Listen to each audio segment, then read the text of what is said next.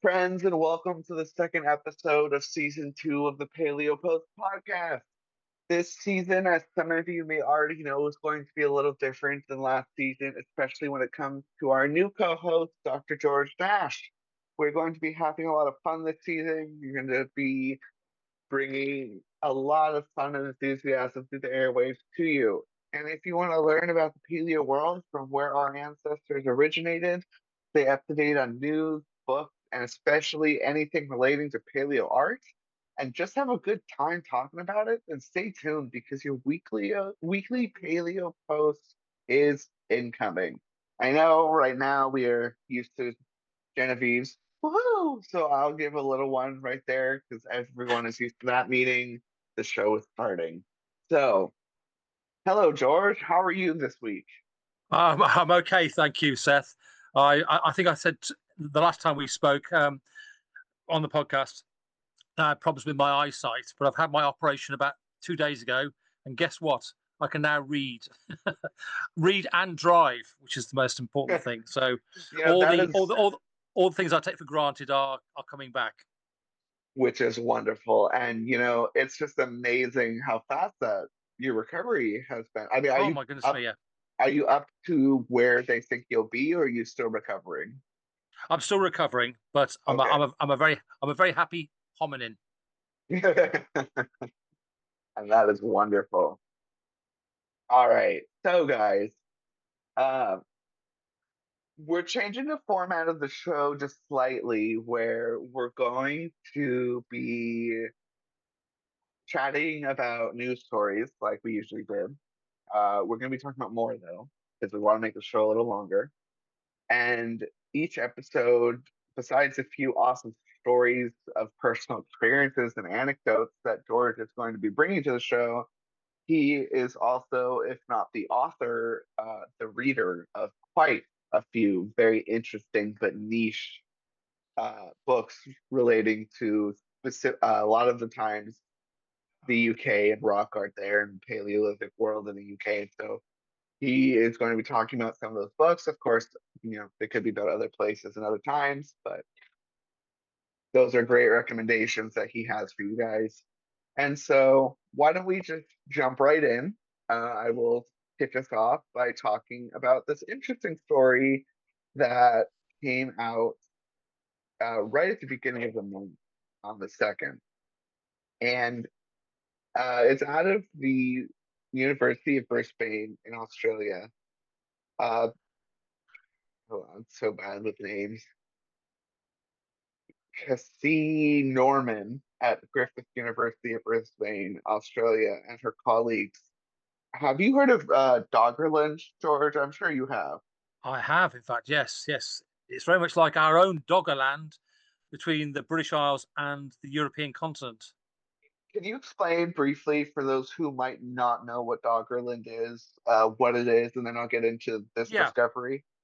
Yeah, sure. Um, if we were to do a, a bathonic map of the world, there are places around uh, our coastlines which were once land. It's as simple as that. And we have, say, for example, uh, within the British Isles, we have at one point about eight and a half thousand years ago where we weren't the British Isles. We are actually connected to the European mainland. And that uh, area was called Doggerland because Doggerland was named after a bank called Dogger Bank, which was a uh, a very, very, very um, uh, uh, um, what's the word I'm looking for? It, it was a great big fishing area, and so it got called Dogger Bank. There are a number of banks and what you've got is that uh, you've got the uh, the uh, in in particular for, for Doggerland is that we have now mapped out the whole of Doggerland just about, and we can get a really good idea about the valleys, the hills, some of the settlements. Because remember, the reason why uh, paleo uh, environmentalists were interested in this particular this particular area of Europe was because um, they were dredging up when they were dredging Dogger Bank uh, artifacts from the Mesolithic, from the early Mesolithic and the Paleolithic. So that was the sort of the clue that we had a landmass underneath the uh, underneath the North Sea, and it's still being looked at as we speak. Uh, one other place is the Bering Strait, of course, um, which is between Alaska and uh, Siberian Russia. And then we have this really interesting area between the the archipelago of the of Indonesia and Australia. And at one point, it's reckoned, uh, and again, it's a, it's a it's a really interesting point that because of the sea level, uh, the low, low the low sea level um, changes that we had during the various glaciations, um, it the, the we, we, it is reckoned that there was a landmass where people could just walk across from the archipelago of Indonesia into Northern Territories, Australia. That's exactly what. So that's exactly what they they are looking at at the moment. Absolutely, and you know, that's what we're looking at when we're talking about this new, um, not new landmass, but new area, as you mentioned, along the coastline that was found in Australia, and this area was unsubmerged, meaning it was it was land, around 27,000 to 30,000 years ago.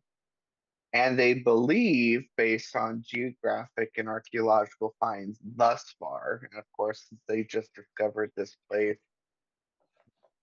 there's a lot left to do. There They is, yes. it could have actually hosted between 50 and this is quite a gap, uh, quite a uh, range here, between 50 and 500,000 people.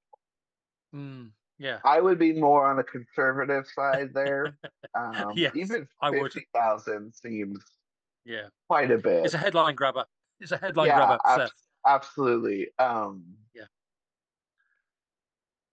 So I, it's a very interesting find that we have this new area. I mean, there's, we literally have who knows what could be there. It's a whole new area Yeah. now. That Yeah. means when you look at an area this size, which the size of this landmass was about, let me see here. So I'm So they think that this population, you know, whether it was 50,000 or 500,000, which again, probably not, there was a very large lake, a freshwater lake that would have supported this area, which is kind of where they're getting their population data from.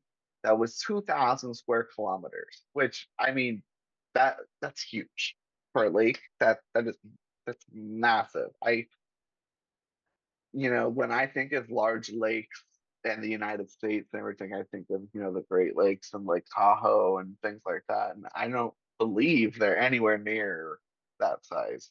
Um, but so the size of this landmass, the topography around Australia that we're discussing was actually 400,000 square kilometers. So actually, let me look up for reference how large Doggerland is. Uh, Doggerland,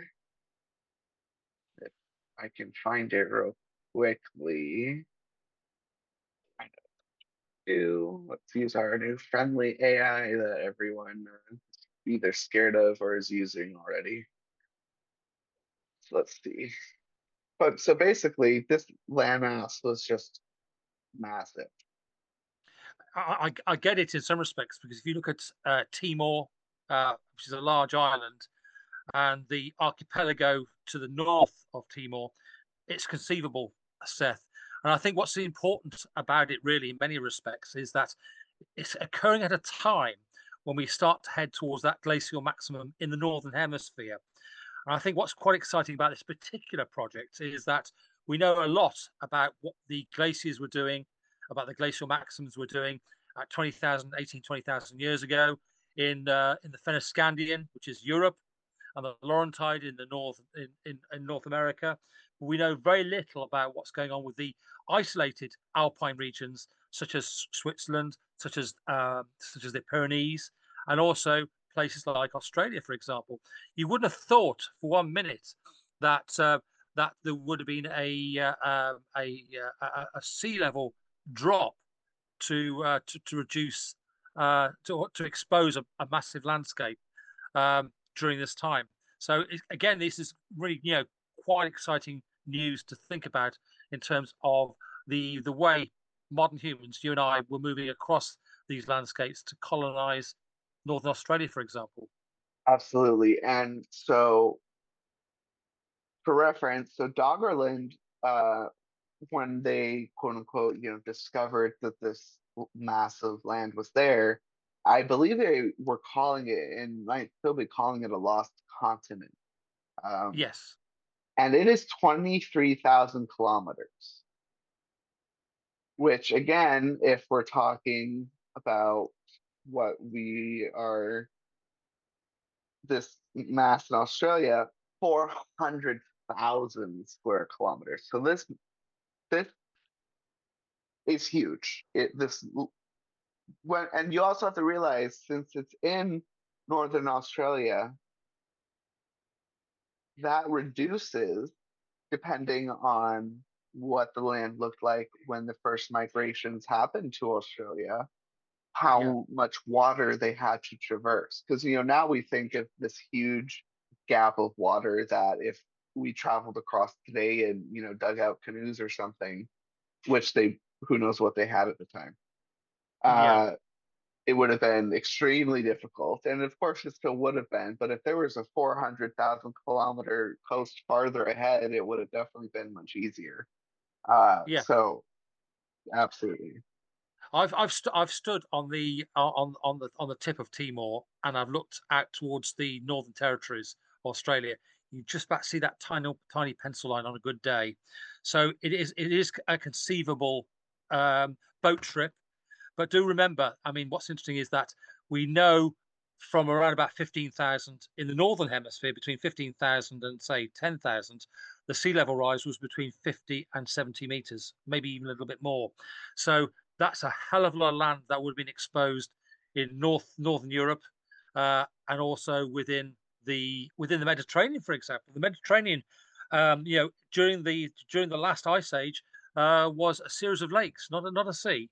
So you know, so we've seen great changes. I mean, um, I mean, the, the the clue is Cosquer Cave, which is um, a cave which was discovered just uh, near Marseille, uh, and it's a, the entrance to it is about 35 meters below the current sea level.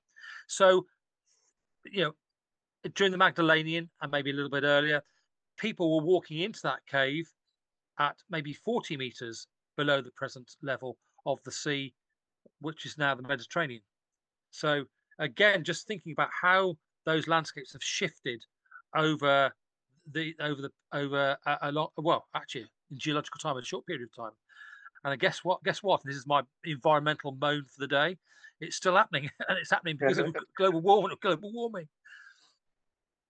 Yeah, absolutely. And you know, that's yeah, climate change. That's one thing that uh, you know, totally kind of getting a little off topic here, which is always a fun thing to do. Climate change has always happened. You know, it's when even when humans weren't here, the climate was changing drastically over time. And going off topic, you know, just a little bit, which is always fun, you know, climate change has always happened. Even without humans, the climate is going to be changing drastically throughout geologic time. What's different now is anthropomorphic driven climate change. The climate is changing faster or more drastically because of the activities that we have been doing. And I think that's something that a lot of people don't understand. And it's like, oh, well, how could we change the climate? Well, we're not changing it. We're just accelerating what's already happening yeah because of yeah the stupid things that we're doing to the environment. yeah Uh, I was looking forward Seth in 23,000 years time to experience a, an ice age and now I won't yeah, I but know. We're but gonna miss it. We're gonna miss it. we're Uh, gonna miss it barring, you know, a massive volcanic eruption or something, you know. yeah Um, but yeah, But so it, just but, but but but maybe I mean I mean this is what's really interesting in terms of looking talking to geologists because we have now uh, if some of your uh, some of your listeners may know about is the Anthropocene, which is a right. new geological time, which basically is the way that us modern humans have impacted the Earth, and um, yeah, and also the debris we're leaving behind. So, for example, this is this is from from an archaeological point of view. When you start to dig a site, for example, any site, you have stratigraphy, and that stratigraphy could be a few centimeters, could be a few millimeters, uh, or it could be a few meters. Uh, but nevertheless, we've covered most of the globe with a anthropogenic, anthropogenic activity. So the Anthropocene is real, uh, and it's again it, uh, when I was at university uh, all those years ago, um, it was just coming in that term Anthropocene, and uh, it was a debate.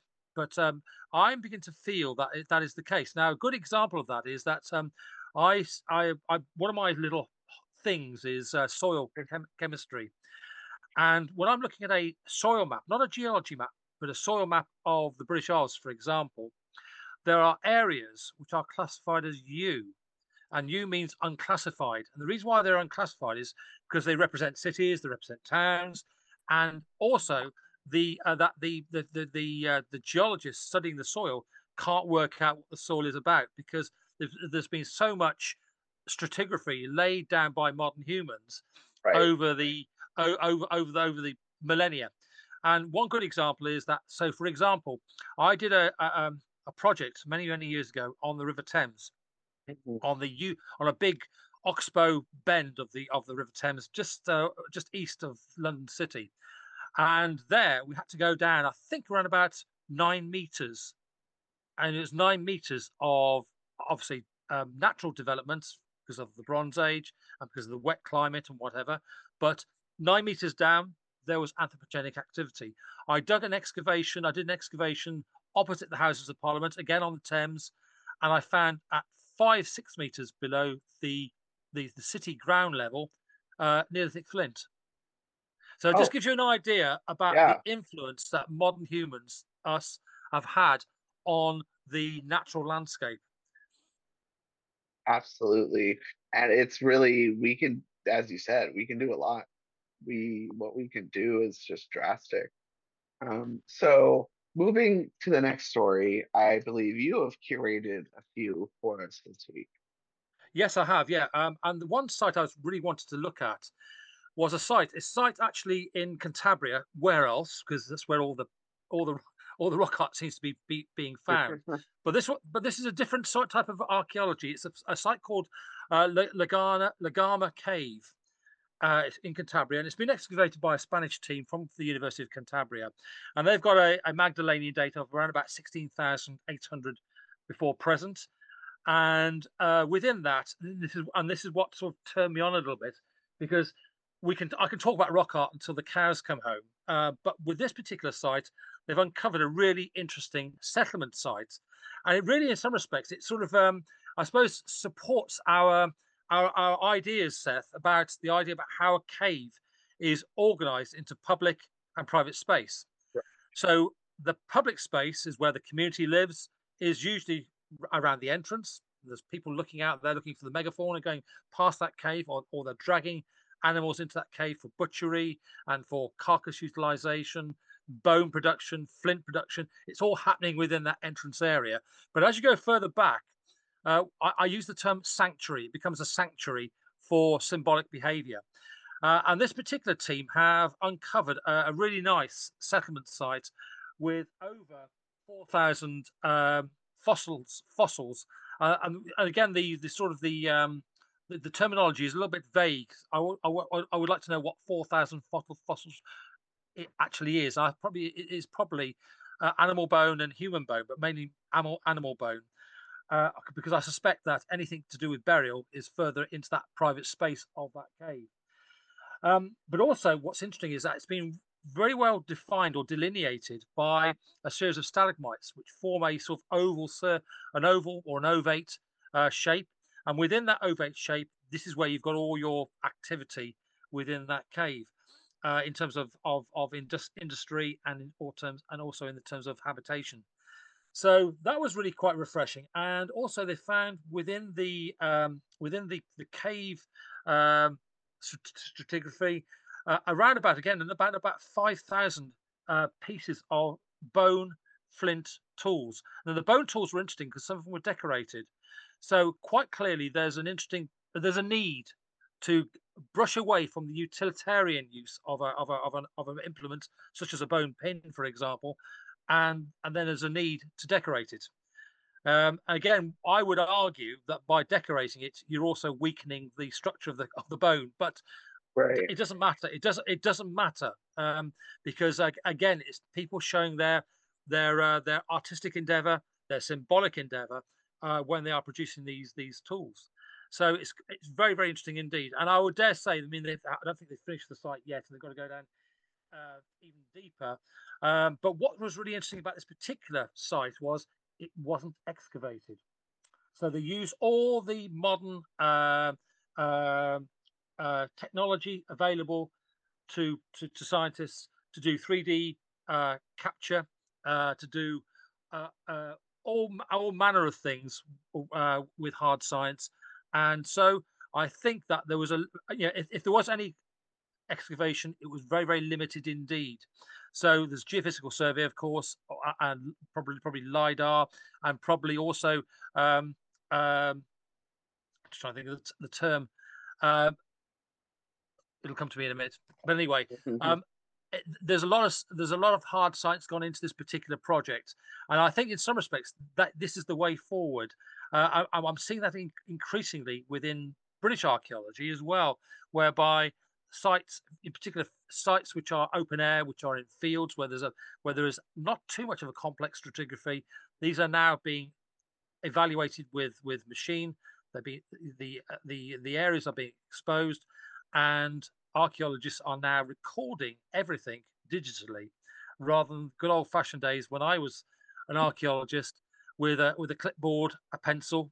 I, I hasten to add a 6D pencil, uh, I don't sections, even know what that is, frankly. sections and plans. um, so so so so everything is becoming digitized and this is Right. again this is so this really actually sort of opened my my eyes a little bit not so much to do with what they'd found but the way they were dealing with the excavation or not the excavation but the right. investigate investigation of the, of the project and so i was i was sort of heartened to see um, the way they were doing it and again i think it's probably the way forward in some respects however the big problem is as you well know that a lot of caves have what we call, call deep stratigraphy. And the deep stratigraphy can go down many meters. And i think at the moment i don't think we've got that technology to work that, work that one out. And i just think i just think sometimes of blombos cave in south africa which has been dug for the last 30 odd years or more uh, whereby they expose these beautiful sections with the the, the the horizontal layers of stratigraphy going back 80 90,000 years um, so i still think there's a, a need for certainly certainly university departments to be digging the hard way like i had to. But this is quite a unique um, a unique investigation into looking at the the the uh, the, the, the cave and its occupants eight, uh, 16,800 years ago. So that's where i am with that one. Oh oh just one one other thing as well um seth. Um this was uh, this information was gathered from the bradshaw foundation website Okay. Okay. which i do recommend And um, yes, absolutely. The Bradshaw Foundation is a they have a remarkable website that shows rock art and data and stories from all over the world that they have collected. They have wonderful images that you can look at and actually see the art yourself. Uh, maybe hopefully if uh, our good friend Genevieve has a chance, we can maybe set something up with the Bradshaw Foundation. I've heard, so we'll see. Yeah. Cross your fingers there, everyone. Uh, but uh, definitely recommend checking them out. I will put a link in the description, but it's uh, it the website is what the name is Bradshaw dot probably org. I what, what, assume. what, what I'll do, what I'll do is I've got the three links which go directly to the okay, the, the areas, and I'll send those to you uh, for for listeners so they can look at their leisure. Uh, and what I like about the particular this parti- particular format with the Bradshaw Foundation is that they are compact, concise, and also more importantly, when you're reading them, they make you think. Not so much what's coming out of the out of the uh, the uh, the text of the people who are putting this stuff together, but they make you think about the uh, the wider context of of the site that you're looking at. which is always, you know, doing your own thinking is always a wonderful thing, an exercise to practice. Exactly. Yeah. As we'll know, as we'll as we'll see in my next uh, discussion about another exactly. Y- And, you know, Your just turn. Your turn, sir. yes, yes. And, you know, right before I get to my next story, just a little quib here. You know, I love when people say, and, you know, they mostly say it online, oh, I did my research. Well, now, did you? Or did you just read the research other people did? You know, Yeah. that's Yeah. Hmm, I don't know. Even myself, I just got on a research project. It's the first one I've ever done. I have not called myself a researcher before this point because I'm a science communicator. I read the articles and I communicate what they say, but I'm not really doing research up until this point.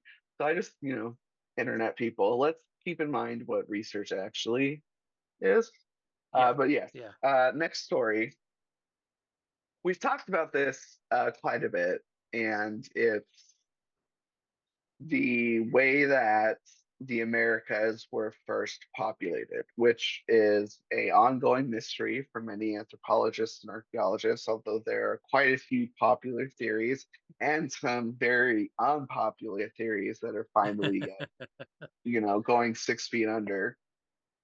But one of the most prevailing theories that has survived a lot of criticism for decades is the Bering Strait and or kind of ice highways.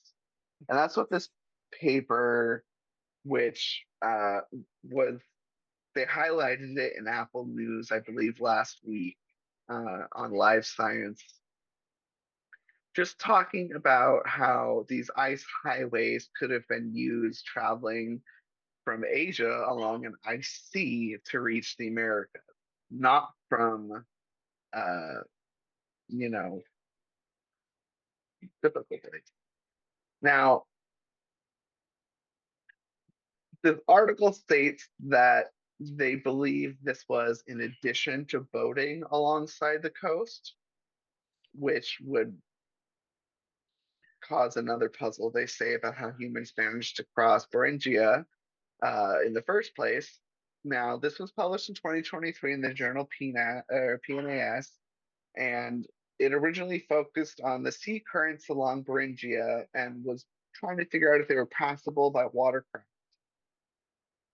During a new new presentation of their findings on December 15th of the annual meeting of the American Geophysical Union in San Francisco, the team highlighted the importance of the sea ice and its role in the possible migrations of early, early, early. I mean, at this point, they're not early humans, uh, early Americans uh, coming over.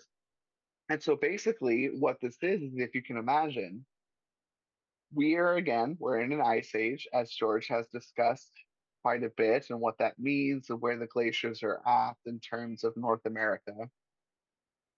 And for many of you who are still trying to kind of capture what that means, you know, in Europe, they have the Alps, of course.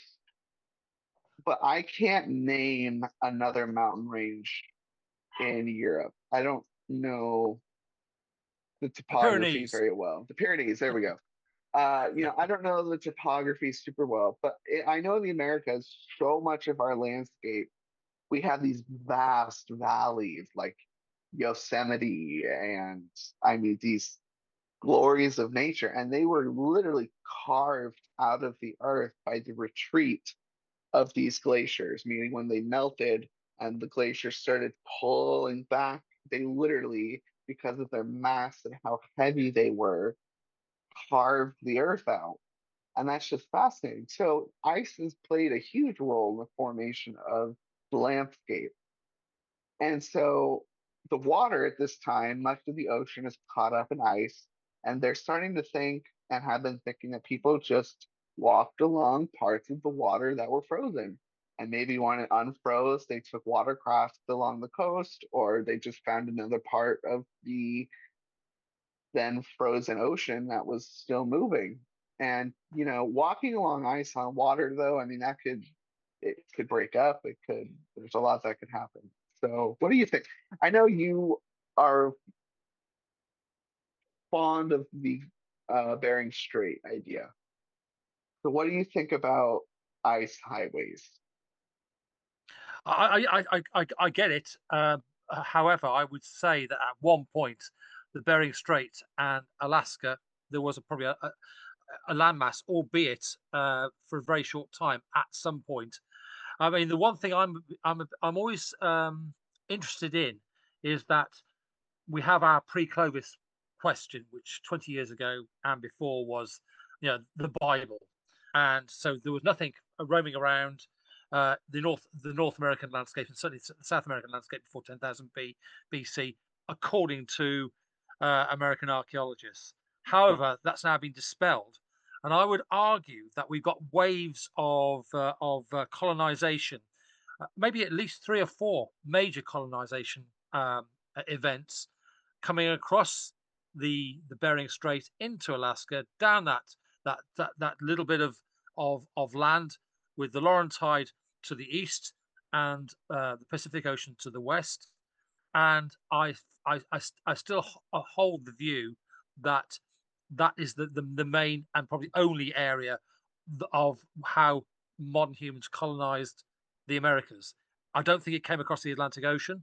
It mm-hmm. didn't come across the Pacific Ocean, and it certainly didn't come from the Antarctic Ocean. So I, feel, so I feel, I feel that the easiest way forward was and it was probably at a time, probably at a time, Seth, when we, if you think about it, fifty thousand years ago, and I'm think I'm, I'm going back that far, when we don't have uh, a Laurentide ice sheet, we don't have a Fennoscandian ice sheet, but we do have, um, uh, you know, very lush green Siberian uh, uh environment, um, and you know, I, I, I would argue, uh, and again, I'm not going to go down the, the argument of the idea of eustatic rise because I don't know, uh, and I don't think there's been much work done on that. This is where you've got land rising at a at a, at a different level or different rate to the sea level. Some of it sometimes is going faster, and sometimes it's going slower than the rate of sea level. And obviously, you need a uh, for uh, you need a, a, glacial episode for that to happen. Uh, but I think really from 50,000 BC, and let's face it, the Devensian ice sheet or the or the Laurentide and the Fennoscandian ice advance starts to take bite about 70,000 years ago. And it's a slow process. So there is that time, there is that, that, that, that ingenuity by modern humans, that's you and I, to get to Siberia and think, hmm, I fancy a holiday in the Americas. And uh, so I, I think at 50,000, there would have been some form of land bridge, or as you say, it would have been iced up uh, seasonally, and that ice would allow, as they allow Inuits today, to travel across that very very short uh, bridge between the two continents. So I, I, you know, it's conceivable, and the proof of the pudding is, as I said to you before, there's this idea of of no, no such thing as pre-Clovis, but at Sawfish Cave, at Paisley Caves, and other caves that we're starting to look at now, we're starting to get dates of human activity which goes to at least uh, the uh, um, the the latter part of twenty thousand years ago. So between say eighteen thousand and twenty thousand years ago, we've got a, a wave of human activity coming into the Americas, and it's more than likely that these uh, these uh, uh, originate from what is going on with, by people moving through China, through uh, Siberian Russia, and going across that that that bridge of whatever it, whatever it may be. But it was too tempting for humans not to do it. Absolutely, and you know we are a very curious species. It's we very hard are. for. I mean that's that's how we've gotten to where we are. Uh, we would never have left Africa if we were not a curious species. Well, I mean, of course, there could have been the idea that we ran out of resources and expand. but besides that, being very curious has, you know, we wouldn't have gone to Antarctica if we weren't curious. I mean, you know, um, yeah. So that absolutely plays a role. And yeah, I just I think it's an interesting, But like I I think I think said, lis yeah. I What? I think I think listeners need to read and have a look. Just Google Paisley Caves in Oregon, and they are Yes, really are a revelation about what is going on. You know, and they've pushed back the the time of modern humans coming into the Americas by 100%. So it's it's it's going towards the 20,000 mark now, and I think that's just one of maybe I'll say like I say three or four waves of human uh, occupation. The reason why I say that is because some time ago when we did our first podcast uh, together, I mentioned about the work I've been doing in northeastern Brazil, and we've got dates there of 27 to 32,000 uh, uh, which is um, indirect dating on rock art uh, within stratigraphy that has organic remains. Uh, and that wasn't just from one one rock shelter; it's from two or three rock shelters. So quite clearly, there's something going on. And again, I've asked those questions to uh, to people who I respect in terms of rock art and, and also uh, dealing with very early uh, uh, migratory human occupation of, of the Americas, particularly South America. And they say the only way is north. so the only way they're coming in is from the north. right, absolutely. Um, and I think that about, you know, covers that idea and that topic there. So why don't we talk about your next story that you have decided to bring us this week? Yeah, this is a it's, this is another interesting one. It's uh, I, I, we're going to talk about talk about we're going to talk about our good old friends, the Neanderthals. Of Um, and this again, this is another uh, uh, story which was um, which was um, uh, uh, published uh, in December 2023. So we're only talking a few weeks uh, ago. And this is a site called uh, La Roche Cotard, and it's a it's a, again a cave site which um, uh, which was which has been excavated. This has been excavated in a traditional way, uh, and they have dates there of Neanderthal occupation plus Neanderthal art, uh, dating back to fifty thousand years. And again, the NB note I put on that one, uh, Seth, is we have to be really careful now. I think when we start to think about these these fantastic dates of 50,000, 60,000, because we are starting to push back those dates for modern humans coming into Yes. the various parts of the world. So, so, so, for example, uh, at the uh, uh, um, last year, I was working in uh, Mount Carmel in northern Israel, just uh, just east of Haifa, and there we have modern humans occupying that landscape at around about 90,000 years ago. So this is where we have to be careful, and it's happening all the time. Every year that I get older, I read the news, and there's and there's and there's someone's made a fantastic sort of statement about saying, "Oh, we've got uh, modern humans in this uh, in this part of the world, wherever it may be, at 60, 70, 80,000 years," and I, I'm still very very cautious about um, about looking at the uh, trying to prove if we've got Neanderthal art uh, based on dating. I just don't think we can do it anymore. Uh, so this is the reason why the first my, myself, which I'm part of the first art team, we've been working with the Max Planck Institute on DNA analysis, and that will help us hopefully to seal up once and for all that we do have a good Neanderthal range, and also more importantly, this is where I, this is where I'm definitely team Neanderthal, is that we, they are producing they are producing art, and so these these guys, and it's been re, uh, it's been run by somebody from the University of Basel in Switzerland, uh, a, a woman called uh, uh, Dorota Wojtczak, and um, she has uh, been working with a, uh, a French team, of course, because the site is in France, and a team from Denmark. And I dare say the Denmark Danish team are doing all the sedimentology, etc., etc. And what is really interesting is it is it's within the Loire Valley, so it's halfway up France on the western side of, of France. And when I was a boy, when I was a when I was a bum student, uh, we had this statement, and I remember never forget it. The statement was that uh, during the height of the uh, glacial um maximum, so back 20 to 25,000 years ago, uh, there was no occupation uh, by modern humans north of the Loire Valley. So I get that, but at 50,000 years ago, um, there could have been there could have been modern humans going Right, into right. the uh, into the Loire Valley. Uh, however, based on the lithic uh, assemblages, and we got Mousterian uh, flint coming up, uh, the usual stuff that you'd expect to find on a Neanderthal, Neanderthal site, we've got it. Uh, so that's Ah. very, very interesting. It's really exciting. Now, the site itself was uh, actually known, has been known about uh, since 1974. But and this is why I got respect for the guy who discovered it. Um, he, when he made the discovery, uh, his name was Jean Claude Marquette or Marquet. What what was his name? Uh, Jean Claude Marquet or Oh, Marquette. okay. If you're English, you say Marquette, but if you're French, you say Marquet. Okay. Yeah. And uh, he had the he had, he had the he had the wisdom to say to himself, "This is bigger than all of us." So in 1974, 1974 he actually walked away from any sort of serious excavation of that site. So he waited until 2016 and then got in there and did a fantastic job. But has been working with Dr. Wojtczak uh, and the team, and he's been advising the team about what they've got there. And so, yes, it's, so it's very, very interesting. And what they've got there, they've got um, obviously rock art, um, but again, um, what's lacking is the DNA DNA evidence, as far as I'm aware.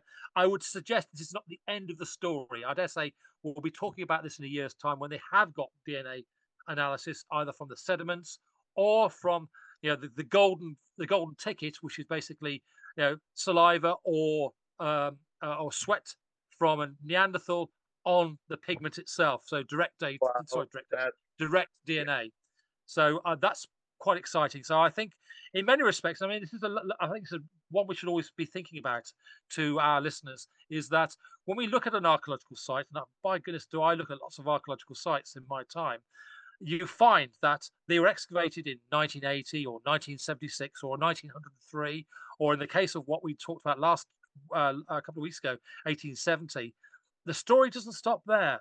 I mean, you can go back to these artifacts and reevaluate them. You've got sometimes the sediments, some sediments within caves are still there. So there's a there's a chance of doing, you know, good, uh, meticulous excavation rather than what was going on in the antiquarian period. So in many respects, it's not just the archaeology that's dynamic in that it's going from Neanderthal to uh, to modern humans to uh, Paleolithic, ne- uh, Mesolithic, Neolithic, Bronze Age, and so on and so forth. But also the archaeological techniques that we're using are dynamic as well. We're getting new stories coming out, and I would I would lay I would lay a pound, I lay a dollar uh, that um, that this this site has has yet more secrets to to reveal. Absolutely. And I mean, when you're talking about, you know, pausing and waiting, I mean, first of all, like you said, mad respect for that. That is crazy that you have the restraint Yes, not exactly, exactly. do what could have been done at the time. Uh, but like you mentioned, technology changes constantly. Oh, I goodness me, yeah. feel like every time we recalibrate carbon dating, which happens pretty frequently, labs are working on pushing back how far we can actually pull carbon from. You know, I learned in school, even last term, that carbon dating only goes back about 45,000 years. Now. Yes, Dr. Tom Higham, who you may know, I know. Higham. Yes, yes.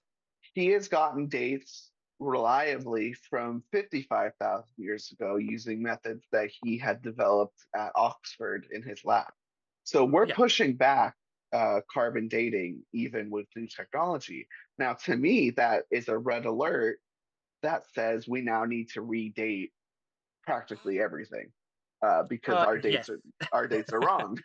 so Yes, that's that's so much work that needs to be done. It's it's insane. And then another thing about new technology that we learned uh, in the last few years is what we can find just on the sediments in the ground, DNA.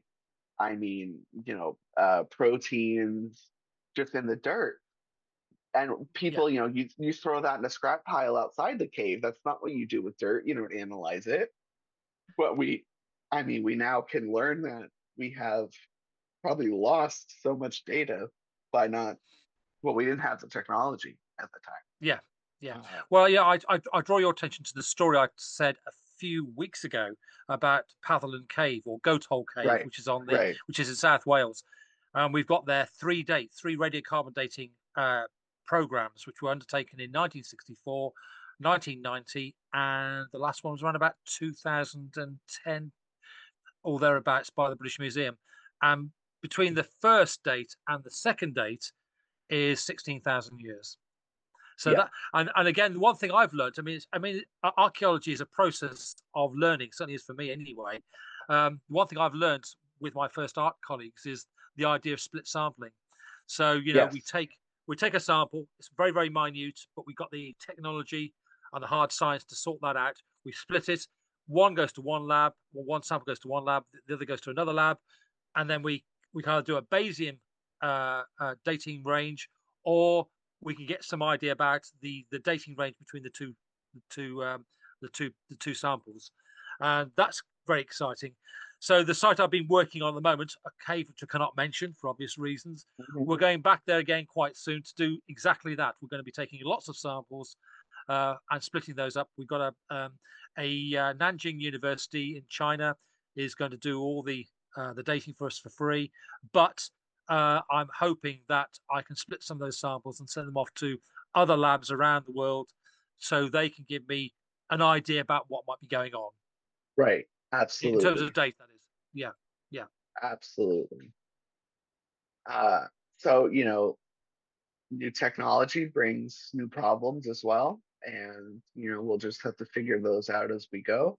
But it brings a lot of new opportunities and a lot of refiguring things out. And I think we, uh, there's a lot of you know for people who are looking to get into the field, there's a lot of work to be done there. So you know, get involved.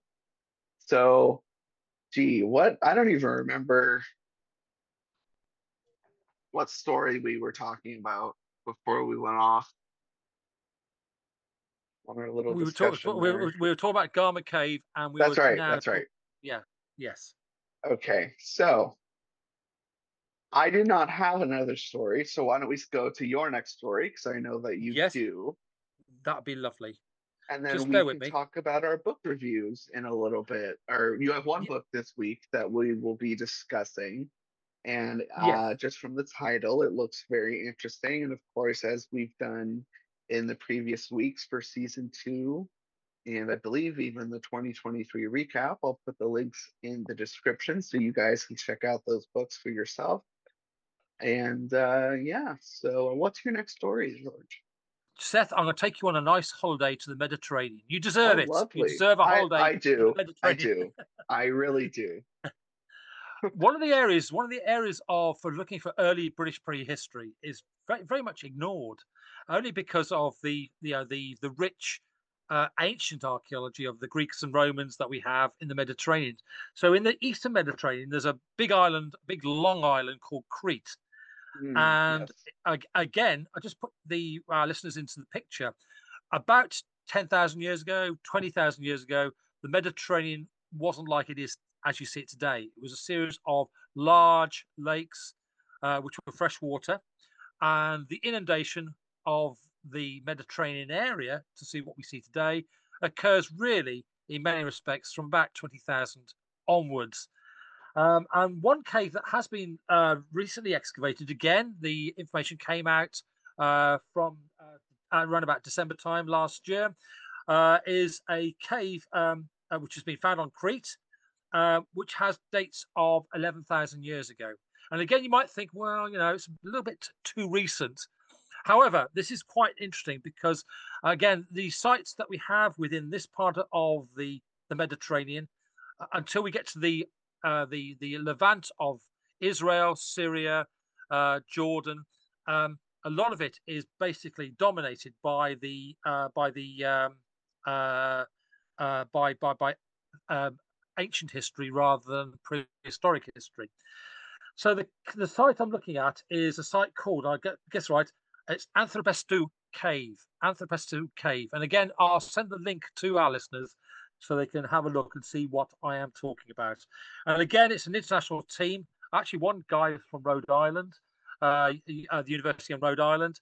Uh, and they've been looking at again using traditional educa- uh, excavation methods.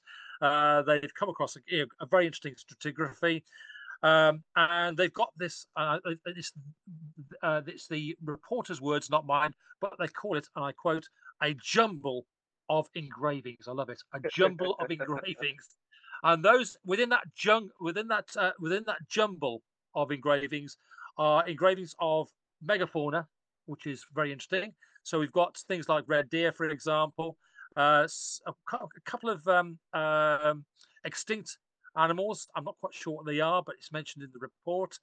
Uh, but it does give you a little bit of an in insight to what is going on in that part of the world, which we know very little about. We know a lot about Greek, Roman, archaic Greek. But we know very little about the um, um, about what's going on in that part of the Mediterranean. And there is one cave site which is called Franchthi Cave, which I studied as a student, as an undergraduate, uh, which has a, a, a, very much an identical stratigraphic sequence with lithics, all the things you expect to find in a late Upper Paleolithic site. Uh, no rock art, hasten to add, although I would say this is the, this is the big the big point. Uh, certainly, it certainly applies to me uh, as a as a an archaeologist, and when I'm wearing my paleo environment, sorry, my paleo anthropological head, is that we haven't looked hard enough. And what I'm finding now in a lot of cave sites, and I dare say you will be finding as well, Seth, is that you've got to look at the walls. Don't look just look at the ground where the archaeology is. But there is, you know, sometimes very, very faint evidence of of, of rock art. And again, I found these this sort of stuff. And I dare say at Franchthi Cave, where there's no rock art, I dare say there is rock art. we haven't looked hard enough. So this is again a very interesting cave site. Again, another one to to add on the list, a limited list of of cave sites that have been excavated in using modern, uh, meticulous scientific uh, uh, investigation techniques to understand what is going on with the, the, the I can't get the word out stratigraphy. Absolutely, and you know, like you were saying, there's just so much more we can get out of it that we yeah. we need to figure out. Um, what do you, slightly off topic, but something we were discussing this week in one of my classes, which is actually titled Anthropology and Art. So quite applicable to a lot of what we're discussing. Yeah. And next week we're actually starting uh, rock art and cognition and kind of that, which is you know what I want to study. But when do you think when we're looking at these caves and obviously it would have happened possibly early i don't know i'm actually i don't know when it would have happened i haven't decided in my head yet when do you think art as we recognize it gained agency for people again that's a $64000 question uh, so yeah. if you pick up if you pick up a book by a very famous british archaeologist a guy called Derek Roe who's who's now passed away. But in the 1970s and 1980s, he produced a very very good book on the Middle and Lower Paleolithic, published by Cambridge University Press. And the back page, you couldn't make it up, but the back page has a series of little beads which have been pierced, allegedly pierced, um, and, it, and, they're found in a cluster in a, in a, in a quarry site in I think Cambridgeshire, which is in central eastern Britain. And he asked the question: Is that art? Um, and again, I will go one step further or one step backwards, better still. I would say we have to be careful how we determine what art is. So I would be thinking about the idea, and this is the term I use when I'm when I'm when I'm in my arrogant mood. But I use the term mm-hmm, mm-hmm. visual communication system. So VCS, visual communication system. And I think what we've got, and again, I'm going, I'm going to whisper that word to you, Seth. The lady, the lady, the lady and a rising star. and I think you know we, we haven't got art there. I don't believe, but I do believe we have markings there, which right. are ways of communicating uh, visual messages to a small community of people, people who would understand what those markings are. When we, the, but it's trying to work out that transition between visual communication systems, markings, and again, I urge you to read um, Marshack, anything by Alexander Marshack, again, he's a sort of uh, um, we'll say as an yeah, he was an archaeologist, and also Marshall Sahlins, who's an anthropologist, uh, who did a lot on looking at pre- uh, Stone Age economics, for example, and um, they talk about the idea of the sort of the more sort of um, the industrial side or the the uh, the the non-cognitive side of producing marks to, uh, to, to, to, to say meaningful things. Um, where that transition occurs between visual communication systems such as markings that we've got in, say, Rising Star Cave, and what we see on the cave walls of the Dordogne or in Australia or anywhere else where there's figurative art is very difficult to try and work out. Because as you all know, when you start to look at the sequence of art and art uh, styles in prehistory, it goes through a series of waves. You go from geometric forms, which Genevieve has done a lot to talk about, uh, to. And I would say this is where we have to be really, really careful. When we start to think about the idea of the Magdalenian period or the Solutrean or whatever, these are vast periods of time. And it could be the case that at one point in the early Magdalenian, for example, it could be in the case that the idea of of um, geometric forms was the fad, was the the fashion for for for artists or people making these marks to do, and then they get replaced by exquisite figurative art. But then it goes back again to uh, to, to probably geometric forms. So there's a wave of artistic endeavor going right through uh, certainly the the the the the, the uh, Upper Paleolithic. So say from about forty thousand years onwards, it's that thing. The, the thing we the problem we've got is going back further between that that that magical forty thousand to say 60, 70,000. and I believe we're not we're not too far off from that. But even in, within that sort of 30,000 year period, from 40 to 60, 70,000, we're starting to see the idea of some form of endeavor, be it a, a communication endeavor or artistic. But I don't like using that term artistic. Right, right, right. Absolutely. Which it's just such a loaded word. So absolutely. I, am uh, careful how I use the. I'm careful how I use the term rock art. Uh, it, it's something which we've all fallen into, into the trap of. And, you yes. know, I do it. I do it myself.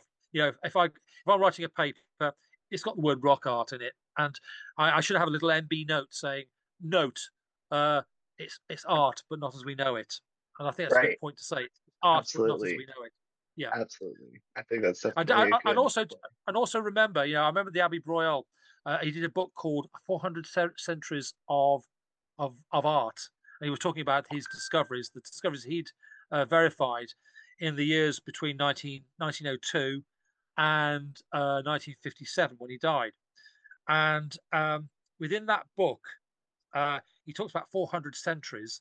Well, if you think there are three, maybe four uh, generations of people per century, you times that by 400, and this is our problem. You know, from where we are now, where we have meaning for everything we do, right down to the McDonald's Golden M, we can tell you what that means, what it represents. We're, we're completely divorced, absolutely divorced right. about what's going on. And I remember talking to somebody, who, he will remain nameless, but he once mm. said to me in a in a television interview which I was giving, no radio interview which I was giving, and he he said, "Of course, I have give some ideas, not English. I have the idea that uh, I have the idea. I know what the what art means in the Iron Age and Bronze Age, and he doesn't. He has no idea what it means. I mean, we, uh, I mean, it keeps me in a job, keeps you in a job as well to to try and uh, make interpretations, which I think is important. But uh, in terms of understanding the full truth about what is going on, we will never know unless you can invent a time machine. So get moving. yes, right. I am working on it daily. Don't worry. Um, and with that, you know, I think it will be a great time to talk about the book that you would yes, like yeah. to review for this week. Actually, I've got two, in fact. I'm going to be a bit naughty. I hope you don't mind. Uh, I've got one book here, which again, I'll put the, the link up. I've just started looking through it. It's dated because it was first published in 2012, but it has been republished. And it's called The British Paleolithic Human Societies uh, uh, at the edge of the prehistoric world. So we're looking at that northern uh, that northern frontier land. So it's the British Isles, and it's produced by Paul Pettitt and Mark White. Uh, both I've got a lot, lot, of time for. Both very very good scientists. And that's been published by Routledge. The only problem is it's been republished, but it hasn't been updated, and that's a big problem because when you look through the book, a lot of the ideas of 2012, as you well know, have been superseded. So that's one book. I'll send the link to uh, listeners um, when I after this this this this this uh, this podcast. And then I've got I come across I've come across this book, and again another nice book, but it's been again it was published some time ago, um, about, about 15 years ago. But I think I'm reading it at the moment again, but it's well worth it. It's called The Rise of Homo Sapiens: The Evolution of Modern Thinking, and that's written by Frederick Coolidge and Thomas Wynn. Uh, it's published by Wiley. Another excellent book. Really gives you an idea about the the mindsets of me and you. So again, well worth a, look look at. And again, the books I'm recommending in many respects. Um, I mean, I do apologise for taking the, the, I suppose, the northern Eurocentric view of uh, reviewing books because a lot of them are in my backyard. Uh, but certainly, the the Rise of Homo Sapiens is a good book for students. I, I, I do recommend it. It's a very very good book. And that sounds absolutely like it is a good book. And again, we will have links in the description uh, of wherever you're listening to this, whether it's on YouTube or Apple Podcasts. And I am trying to get the or Facebook even because now uh, we're putting the Paleo Post podcast on Facebook. Although this episode that you're listening to now is season two, episode two. And we just started putting the episodes on Facebook. So they're on season one, episode two, coming tomorrow. So just letting you guys know but you can listen on there as well. So we're we're spreading, we're trying to grow larger. And you know, if you guys like what you hear, if you're supporting us doing what we do, then please give us a like, give us a subscription, rate the podcast, whatever that platform supports, because every time you do that, one, it probably makes George and I feel really good about it. And I know it makes me feel good about it. Uh, but two, it really does help get the podcast out there, which just brings in more people that can learn, ask questions. It expands our education base. And that's really what it's all about, guys learning and having fun. I would also add, Seth, I, I would appreciate if anybody has any uh, negative comments to come through as well, because uh, I say, because of negative comments, we can improve our podcast. Absolutely. He, George has a very good point. We always want to be improving and doing our best. So if there's something, maybe you want to hear less stories, you want to hear more stories, you think it's too long, you think it's too short. If you think we needed to add something, let us know. We are here to listen. We are here to change, to make this better for everyone. Um, because this is for you. We we're taking our time out of our week so we can do something for you guys. And if you guys aren't enjoying it and getting something from it, you know, we want to make sure you are. So that being said, either I missed the second book you were talking about or you did both, right? The, the second book was The Rise of Homo right, sapiens. Perfect. perfect. The Evolution of Modern Thinking. Perfect. Okay, so we did that. And with that, you guys, I mean, I think we will, unless George has anything else he wants to add, call this podcast to an end and uh, wait till next week for the next episode. All right. so okay. Yeah. Perfect, guys. You know, again, drop a like. We hope you enjoyed this episode. Let us know and if you have questions that you want us to answer, you can submit those as well. You can email me directly at worldofpaleoanthropology at gmail.com. You can leave your questions or, you know, concerns about the podcast in the comments on any platform. And just remember, have a good time. And as I like to say, you know, everyone's got their saying, Lee Berger's is never stop exploring. Mine is there's always more to learn. You'll hear me saying it constantly. It's written all over my website. And if you remember that, you remember that being a student for the rest of your life is one of the best things that you can do, you'll have a good time. And with that, I think we will sign off. And I hope you guys have a wonderful week. And that's it for me. Peace. And you.